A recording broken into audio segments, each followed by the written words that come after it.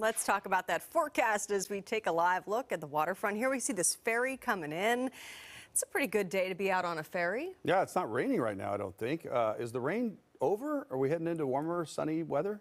well, we are, but the rain's not over yet. So right. some spotty showers, they are going to return here, David and Jamie. I had to think about that for a little bit because it is really nice out right now currently, just like Jamie said. We are dry currently in the city, but those showers are slowly starting to creep in now across parts of the North Sound. So here we are back on screen. The showers happening, like I said, especially across parts of the north sound here. Very, very light though. Nothing very heavy, nothing to affect us on that commute home. And we're also seeing a lot of that light green stretching into areas like Everett, right along I-5. So just watch out for that. But like I said, just a couple little sprinkles. And that's exactly what we can expect throughout the evening as the cloud cover remains thick. And we'll probably watch that return across areas like Seattle and over into Tacoma within the next hour. On top of that, the visibilities, they are reduced reduced. We've got that low cloud deck, right? So hard to make out uh, in far distances, but we're also seeing that fog, especially because that low cloud deck across parts of the Cascade. So just use some caution out there. Did see that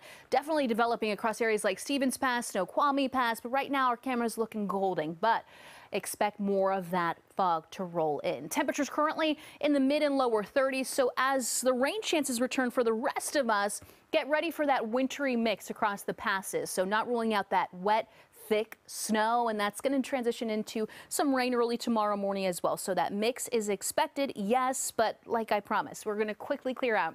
So tomorrow afternoon, it's going to be gorgeous. Temperatures are going to be in the 60s, lots of sunshine, will be dry.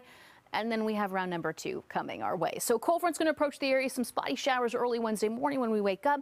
Cloud cover starts to build and the showers increasing widespread in the afternoon. They are going to be heavy at times and as that frontal system pushes through, not rolling out winds gusting up to around 15 to 20 miles per hour max, but it's going to be brief. And then we'll start to clear out later on that evening with partly cloudy skies the next day, which will be nice. So Thursday dry, but as we get ready for that new system, we're talking about a quarter of an inch of rain to tack on to what we've already seen as of yesterday, today, and this this is where we're currently sitting right now, just shy of three inches. I'd love to see those totals adding up, and we still have some time for the year. We're looking pretty up to about 15 inches of rain. But temperature-wise, not too bad. Temperatures did peak in the lower 50s, at least across Seattle. Currently, upper 40s now, Bellingham over into Friday Harbor. We're looking at the upper 40s, Tacoma, Olympia, 49 over in Hoquiam. And then later on tonight, temperatures they are going to bottom out, mid 40s.